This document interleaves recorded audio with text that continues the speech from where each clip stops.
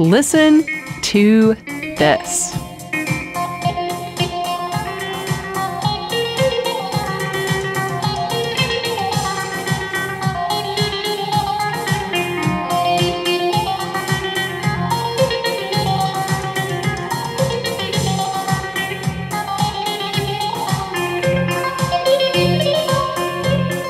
Want to know how that music came into my life? You're about to find out. I'm Genevieve Randall. This is season two of the PlainStory podcast.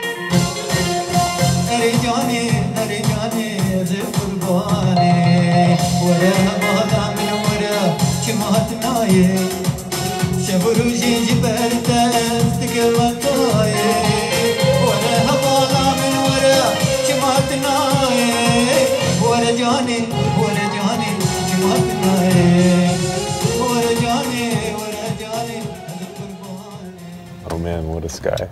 It is gorgeous. Let's start with me in a car. Okay. Blue awnings. You know what? Uh, seriously, this is so close to work. I passed this. I don't know. I'm not going to be in there long because this drive was so short, I could have just walked. It's got music notes on it. Yeah, I wonder who made it. And and it's got scissors. It's eight o'clock at night, a beautiful spring night. I'm with this guy, Eric.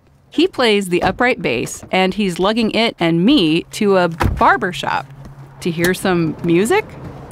You'll hear more about Eric later. Let me tell you about this building. It's in a residential area, and this is a small bungalow type building painted in happy yellows and blues. There's plate glass windows on the front. The open sign that hangs in them is off, but what comes from inside sounds inviting. This is Golden Scissor. It's a barber shop, but tonight they aren't cutting hair. Uh, I hear music already.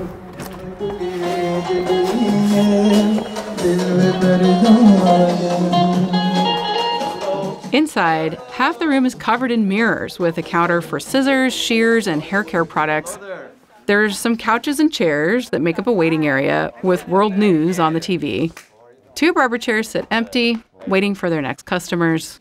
But in the far corner, there's another area cordoned off by low seated futons. There are speakers set up, cords running everywhere, microphones, keyboards, and audio gear paraphernalia every place. Hi guys. How you guys doing? This is where Golden Scissor becomes Golden Studio, an off hours jam space. Eric and I are there to meet the man behind this unique place, Hasan Khalil. Only Hasan isn't there yet. We're greeted by a stylish looking man in his 30s. I'm Zeyad. Zeyad, nice Mr. Z. It's easier. Zeyad, who stopped playing when we came in, and Arkan, Ryan? How are you doing? Good. Brother, how you doing? who had been singing. He's smiling and nodding politely. My eyes are immediately drawn toward a showstopper in the room. Whose whose is this? That's mine. And what is it? Electric saz. An electric saz. I'd seen them before, but couldn't come up with the name. Oh, that's beautiful. Yes. That is gorgeous. This instrument is a point of pride, I can tell, and it should be.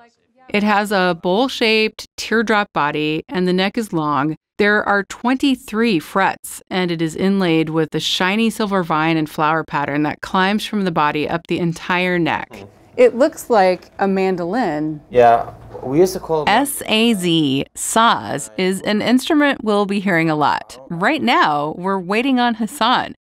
He's running a bit late because he's concerned with being a good host and isn't about to show up empty handed.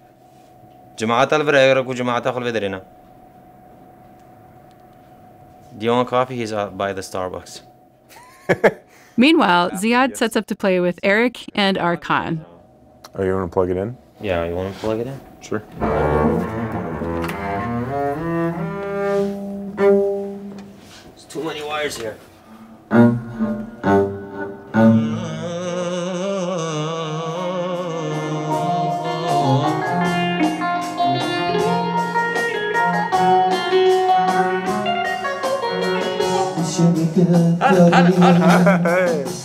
Hasan comes in bright and energetic and apologizing. Hi guys, sorry man, it took forever. His hands are full, balancing a basket of fruits and cups of coffee for everyone. Hi. Are you fresh? Oh my gosh, that smells good. Hi, how are you? Hi, I'm Genevieve. Yeah, my name is Hasan. Hasan, nice to meet you. Nice to meet you. I've been looking forward to meeting you. Oh, He has a Yankees baseball cap on, backwards, and jeans with designs on the pockets.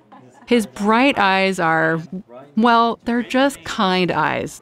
And he sports a neatly trimmed beard, as a barber should, I guess. It's a Thursday night, and I've got a live show tomorrow morning. So tempting, that coffee. I'll just take melatonin later. Something is about to happen, and I want to be a part of it. Have a smoke? David, do you smoke or no? No. We head outside before playing. It's dark by now, but these are the hours of musicians, right? Well, thank you guys all for coming today. Oh, Zeyad was a translator.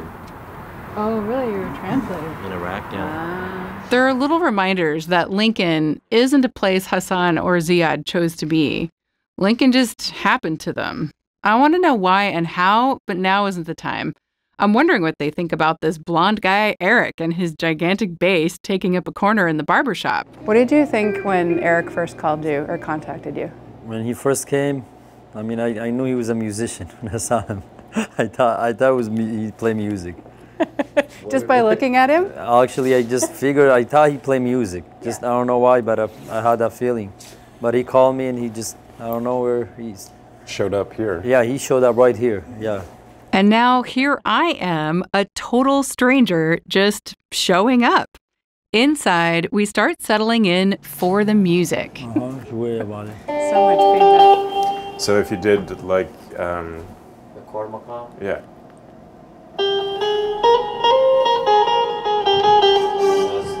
Eric is in the corner with his bass, Hasan seated at the keyboards adjacent from Zeyad, who has the electric saz across his lap, and Arkan sits in wait. He clutches the mic and looks eager to sing immediately, but he has to be patient through these awkward moments. Because though Eric and Hasan have been friends for a while, Eric is a classically trained musician from Lincoln, and Hasan and Zeyad are self taught musicians originally from Iraq. People say music is a universal language. It is, but cultures use notes differently to build musical sentences. did you did you show Genevieve your your quarter tone uh, frets?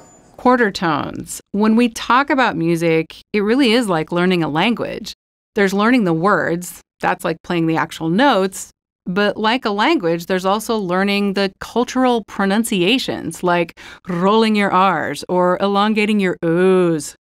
If you've been doing those things your whole life, it's as natural as breathing. If you haven't, well, it's hard to do. Worry about it. So much feedback. So if you did like The differences um, between the classic Western or European music that Eric is used to and the Middle Eastern music of Hasan and Zeyad aren't just about the instruments they use, like the saz, but also about how those instruments are designed to speak.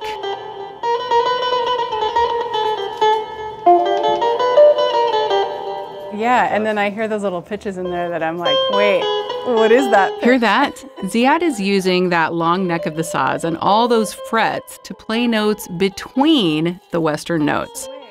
If you think of a piano, there are places where there are two adjacent white keys. The Western classical world, for the most part, doesn't think any other note exists between those two white keys. However, for much of the world, there are. Imagine notes down there in the cracks of a keyboard. These are the quarter tones, and they sound a little bit out of tune to a Western trained ear. But a lot of our song in music, you have to pull out quarter tones. In fact, Hasan's keyboard can be programmed to play these quarter tones. The D to make Okay. a certain. Uh, Okay, so play it with and without. See? Oh, I see. Yep, yep. a quarter tone brings it so back. Yeah. We sometimes do it even more. So it brings it down. it brings it down. So uh, yeah. So if you would cool. have played it in the scale, If your ear is trained in Western music, Middle Eastern music can sound out of tune. The musical language Eric is trying to learn means he needs to unlearn some of the training he grew up with. And in this case, his talent of reading music and seeing if it is played right can hinder him. It can be as awkward as being in another country where you don't speak the language. I think you can hear it here as they begin.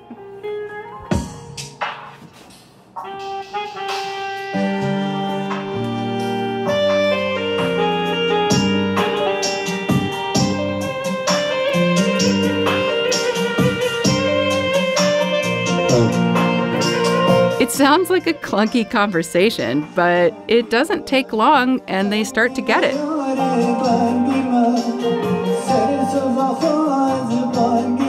Because Eric is playing a fretless instrument, a bass, with strings you can just slide along against the neck, finding quarter tones can be done as opposed to a piano where those keys will never exist.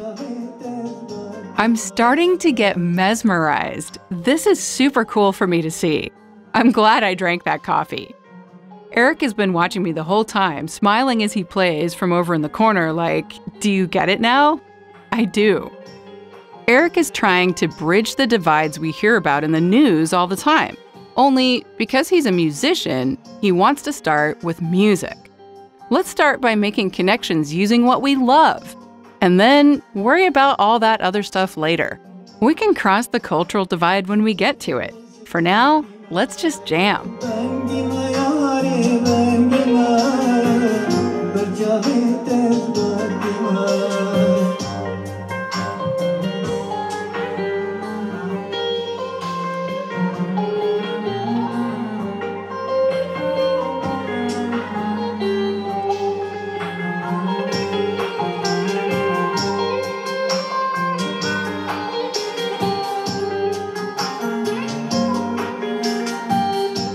This is awesome.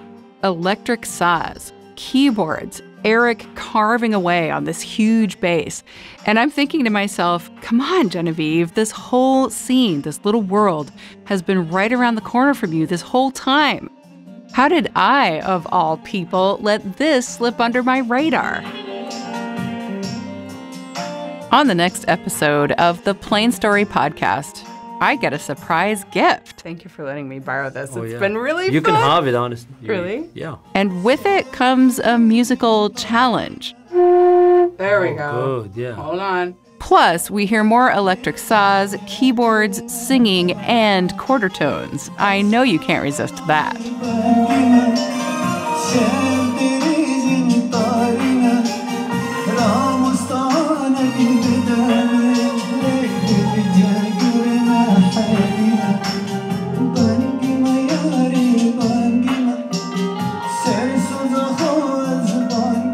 PlainStory podcast, The Sound of Home, is produced by NET Nebraska.